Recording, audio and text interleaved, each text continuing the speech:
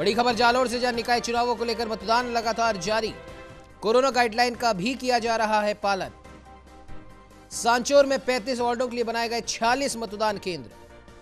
बानवे प्रत्याशियों की किस्मत आज ईवीएम में होगी कैद। 24,705 मतदाता करेंगे अपने मताधिकार का प्रयोग। बड़ी खबर जालोर से जहाँ निकाय चुनावों को लेकर मतदान लगातार जारी। कोरोना गाइडलाइन का किया जा रहा है पालन। सांचौर में आपको बता दें कि 35 वार्डों के लिए बनाए गए हैं 46 मतदान केंद्र। बानवे प्रत्याशियों की किस्मत आज ईवीएम में होगी कैद।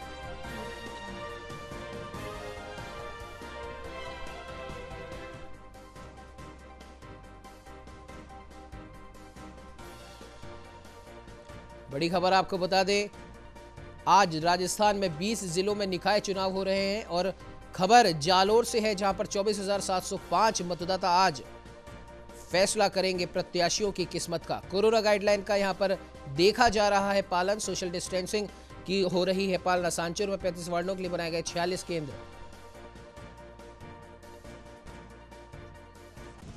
मतदाता आज करेंगे अपना मताधिकार का प्रयोग। बड़ी खबर जालोर से निकाय चुनावों को लेकर मतदान। लगातार जारी है। कोरोना गाइडलाइन का किया जा रहा है पालन। आपको बता दें कि सांचौर में 35 वार्डों के लिए बनाए गए हैं 46 मतदान केंद्र।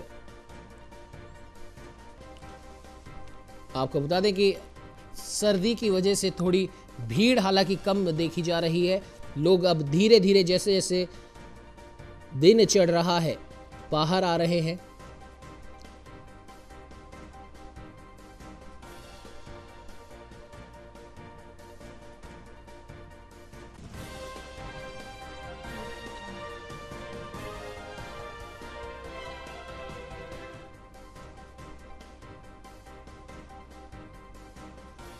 जालोर के आपको बता दें कि आज शहर की सरकार चुनेंगे मतदाता। आठ बजे से मतदान शुरू हो चुका है। मतदान को लेकर सुरक्षा के भी पुख्ता इंतज़ाम है। बूथ केंद्रों में भी नो मास्क, नो एंट्री का किया जा रहा है पालन। 35 वार्डों में हो रहे चुनाव और 35 वार्डों के लिए 46 मतदान केंद्र बनाए गए हैं, जिनमें से 17 बूथ संवेदनशील मतदान केंद्र घोषित किए गए हैं।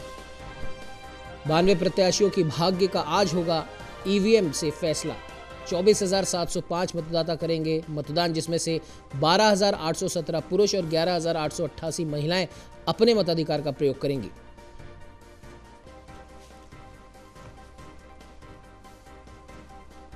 तो वहीं इस खबर पे ज़्यादा जानकारी के लिए जालोर से सुरेश धवल हमारे संवाददाता हमारे साथ में जुड़ चुके हैं। सुरेश, जिस प्रकार से देखा जा रहा है कि अब जैसे जैसे समय बढ़ता जा रहा है, अब धीरे धीरे लोग घरों से बाहर निकल रहे हैं और सबसे बड़ी बात सांचौर में यहाँ पर कई जगह निर्दलीय इन पार्टियों का, दोनों ही प्रमुख पार्टियों का, भाजपा का और कांग्रेस का समीकरण बिगाड़ सकते हैं। क्या कुछ अपडेट है?